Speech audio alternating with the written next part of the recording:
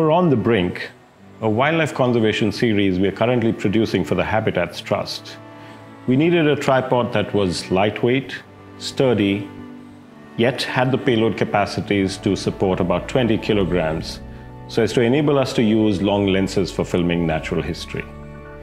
When I first saw the Sachtler 100 tripod online, I knew that this would be the best and ideal tripod for us to use.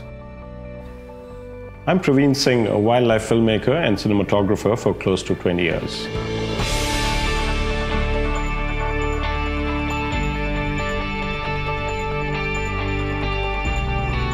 The tripod legs can be spread and locked at three different angles, at 20 degrees, 46 degrees, and 72 degrees. This was invaluable for us uh, when we were filming bats in deep underground caves over very rough terrain. You know, huge rocks, boulders, and very limited spaces where we could actually position our tripod so that we could film bats up in crevices.